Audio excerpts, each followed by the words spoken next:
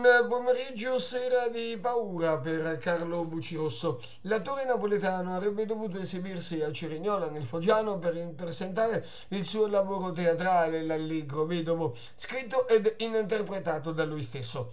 Intorno alle 16.32 l'ufficio stampa del Teatro Pubblico Pugliese annunciava il rinvio dell'opera citata per un improvviso malore che aveva colpito l'attore. La notizia circolava immediatamente sui vari siti web e si era creata una preoccupazione più che legittima.